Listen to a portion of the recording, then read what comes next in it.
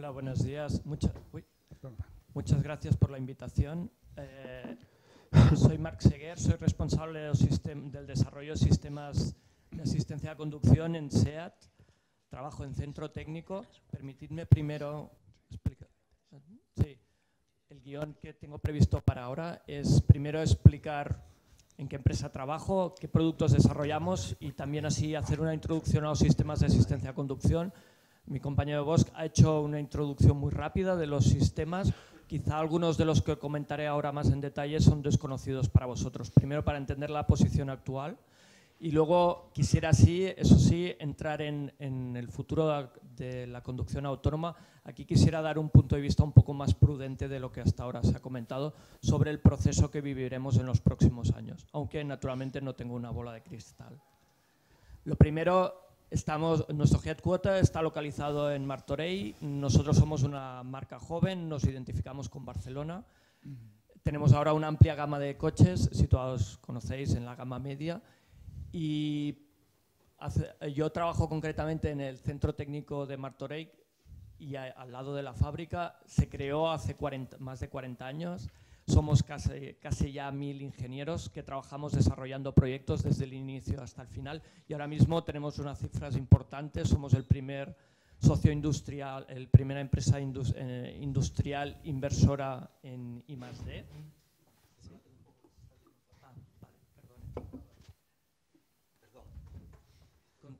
años eh, con 300 millones de euros de inversión por año, aunque el año pasado casi llegamos a los 600.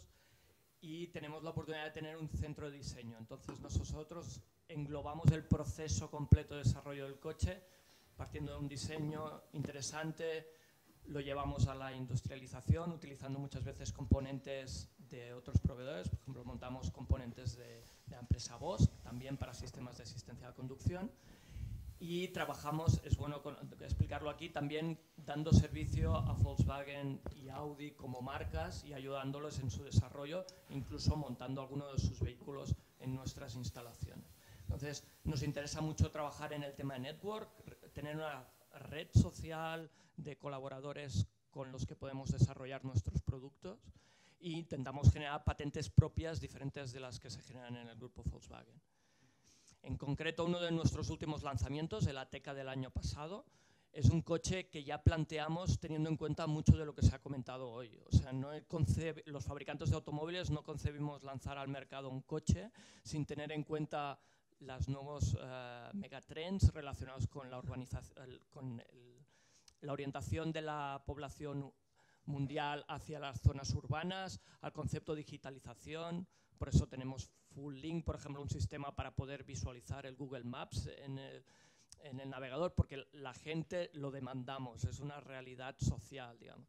Y en ese sentido también trabajamos los sistemas de asistencia a conducción, porque obviamente nuestros clientes quieren reducir, eh, tienen criterios de sostenibilidad, quieren bajos consumos y por supuesto quieren evitar accidentes en su circulación. Tenemos que vender sistemas seguros y fiables que funcionen en todas las situaciones climáticas, en todos los entornos, en todas las condiciones necesarias que haya de infraestructura y, por supuesto, en diferentes mercados. Hoy hemos hablado mucho de España, Cataluña, de este entorno.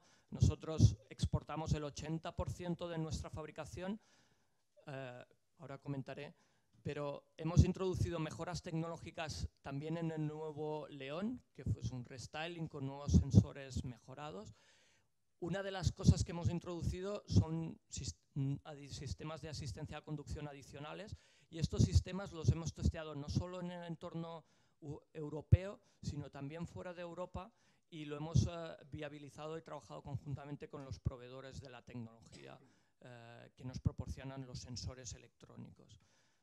Luego comentaré, pero ese proceso de desarrollo no solo incluye simplemente el asamblar o montar los componentes, sino realizar un sistema que, como comentaba él, tenía que también ser eh, válido y fácilmente entendible por el cliente final, lo que le llaman los criterios de HMI, que el sistema sea fácil de comprender para un usuario nuevo que estrena ese sistema. Entonces, Em, permitidme hacer solo una visión general. Lo que está marcado en rojo son sistemas que ya teníamos en serie antes del año pasado y lo que está marcado en, color gris son los nuevos sistemas que incorporamos. Entonces, no, me da tiempo por agenda a entrar en, en el detalle de estos, pero sí que permitidme que vaya un momento a explicar solo dos de ellos, que además creo podré aportar algún comentario adicional. Uno de ellos es el Front Assist, incluyendo detección de peatones. Antes comentábamos, los camiones Volvo aportan este sistema. Eh, nosotros hemos trabajado para llevar ese sistema, que funciona de una manera similar, en un vehículo para la población. Entonces esto es lo que se denomina democratización. Es cierto, existe una democratización de los sistemas de asistencia a conducción. Es compleja porque tenemos que ser capaces de ofertar estos productos tecnológicos a un precio razonable para que el cliente lo compre. En este caso hemos hecho una apuesta intensa porque la TECA lo tiene 100% de la producción, todo cliente que compre este coche tendrá este sistema esto también hace permitir a que este coche tenga cinco estrellas EuronCap, que es un requerimiento que se contempla a partir de, del 2016 como normativo, cosa que nos parece muy bien porque ahonda una necesidad real de un cliente final que quiere no tener problemas, no atropellar a personas usando su vehículo con un requerimiento normativo, requerimiento favorecido por, uh, por EuronCap. Entonces cuadra bien la idea de introducir en, serie un sistema para el máximo volumen de clientes posible. Y en, y en paralelo hemos introducido el Traffic Jam Assist, que es un asistente de caravanas, que es eh, posible para coches que equipan cambio automático, es un opcional y que es un primer paso hacia ese camino hacia el, hacia el coche autónomo. Aquí Aquí menciona que es level 2. Level 2 quiere decir que el conductor es responsable de la conducción del vehículo y que debe eh, tener las manos en el volante y tener el control de la situación. Pero ciertamente cuando introducimos ya en serie sistemas que tienen regulación longitudinal y mantenimiento dentro de un carril, proporcionamos gran confort al cliente que lo usa. Quería mencionarlo aquí porque hablamos muchas veces de conducción futura, pero es bueno saber ver que ya hay, SEAT es uno de ellos, pero que ya hay fabricantes de automóvil que tienen sistemas que hoy en día se pueden comprar. Y la persona que hoy acude a un concesionario y compra este sistema está teniendo un coche muy diferente al coche que se vendía hace dos, tres años.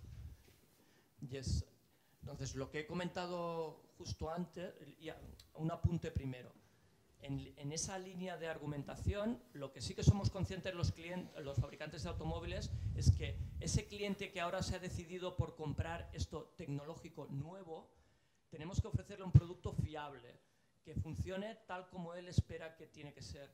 Porque lo que tenemos que conseguir es lo que muestra esta estadística, que los clientes que compran HADAS con quieren luego volver a comprar ese producto. Y si no conseguimos esa rueda, es posible que, consiga, que lo que ocurra en el worst case es que tengamos a clientes eh, descontentos eh, con lo que han llegado a comprar y que luego no quieran volver a repetir esa compra en el futuro. Y eso sería un círculo vicioso que sería muy malo. Por eso soy prudente en cuanto a los próximos pasos que vienen hacia adelante, porque lo que tenemos que conseguir es que el primer cliente que compre un coche autónomo, eh, el coche cumpla con sus expectativas no solo en condiciones óptimas de circulación, sino también en malas condiciones meteorológicas, aunque haya problemas en la infraestructura o en, cualquier mercado y en cualquier tipo de vía urbana. Entonces, aquí está realmente la frontera, que queda reflejado en... SAE hizo en el 2014 una clasificación, para muchos ya conocidos, de qué eran los grados de conducción autónoma. Y realmente todos vemos que la frontera está en el paso al nivel 3 porque realmente exige el paso de la responsabilidad al fabricante. Y esto es conceptualmente muy importante, o al menos la marca se sentirá parcialmente responsable de un cliente que ha tenido un accidente en un grado 3, 4. Porque al fin y al cabo el cliente, el primero al que va a ir a reclamar va a ser al fabricante de automóviles que les ha, venido, que les ha vendido el coche. Podríamos entrar, obviamente, en el detalle, no, me temo no, no hay.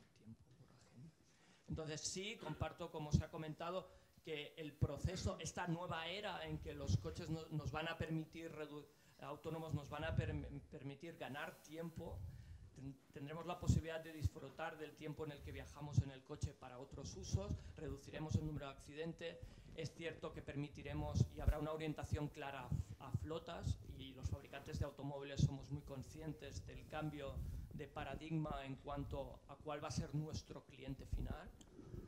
Y bueno, permitidme de todas maneras, no sé si con, eh, exacto, sí, gracias.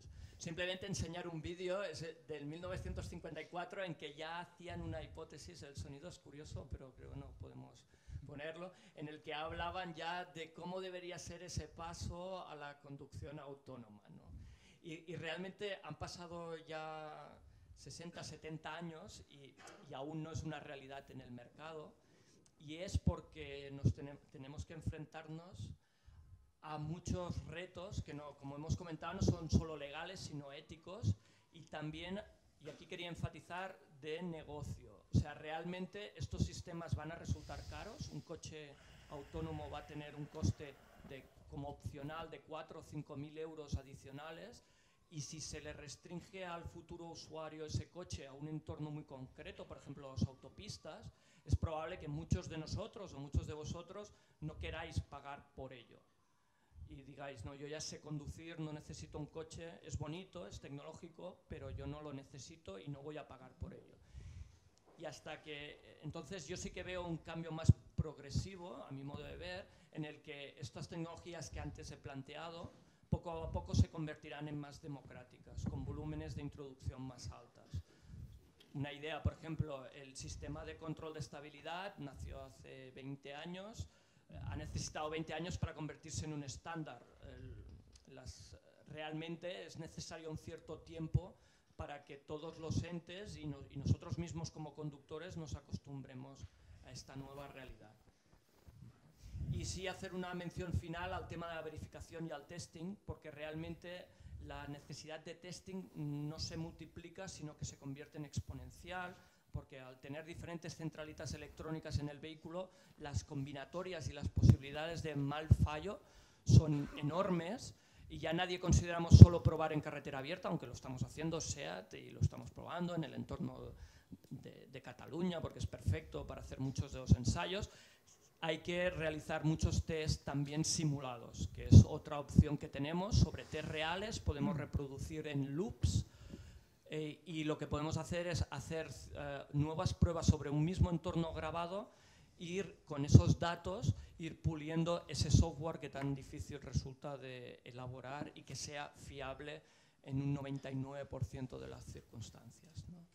Y aquí también entran parámetros como la arquitectura del vehículo, la seguridad ante, ante seguridad electrónica, ante hackers, Y luego algo que también estamos viviendo todas las marcas es que tenemos más posibilidad para crear interiores diferenciados gracias al infotainment, gracias a los nuevos sistemas de asistencia a conducción, en un futuro podemos desarrollar interiores de vehículos muy diferentes. esto no va a ser un cambio disruptivo, siempre habrá para mí un volumen de coches que se mantendrá en una tendencia más progresiva. Poco a poco haremos un cambio en el interior ofreciendo nuevas posibilidades. Y solo un apunte por algo que se ha comentado, y de hecho se veía en el vídeo de 1954, hay un momento en que habrá que ofrecerle al conductor, una cuestión práctica, el momento en que puede dejar de tomar el control.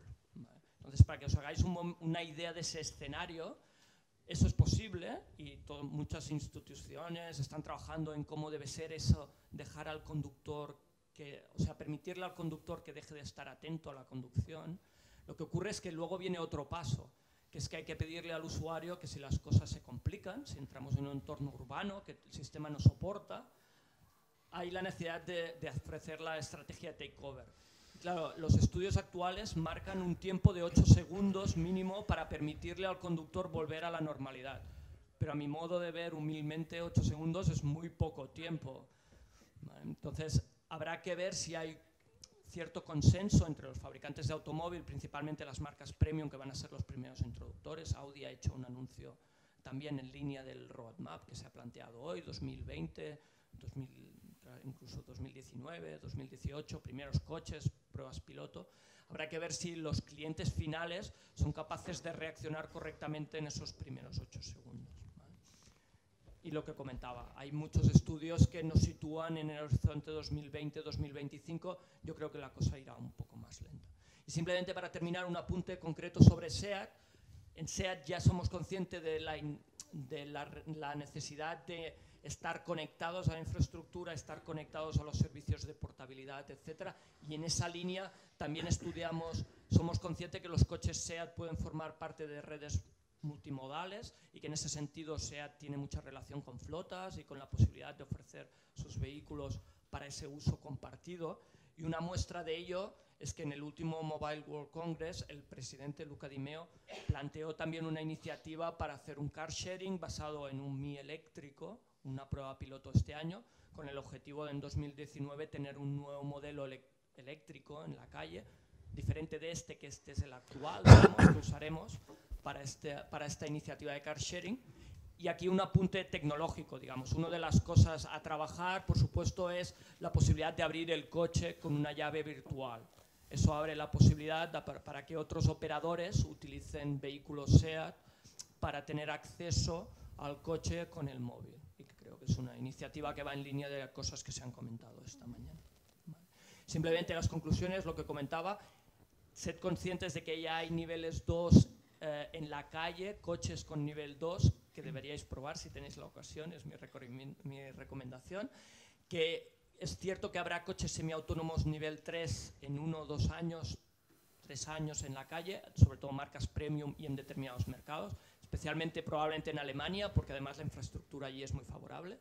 Debo decir que tenemos que trabajar con que las líneas de carril, las indicaciones de señales de tráfico sean las adecuadas. Eso es otra realidad, porque si no habrá clientes descontentos con una función y nosotros no podremos llegar más allá y que sí que es verdad que los coches van a estar conectados en un futuro, pero que en mi modo de ver los costos y los costes y los riesgos asociados son muy grandes y esto va a ser un proceso progresivo. Pero nos acercamos quizá a una opción de milagro por tener un mundo muy diferente del que contamos en un horizonte 2020-2030. Muchas gracias. Muy bien.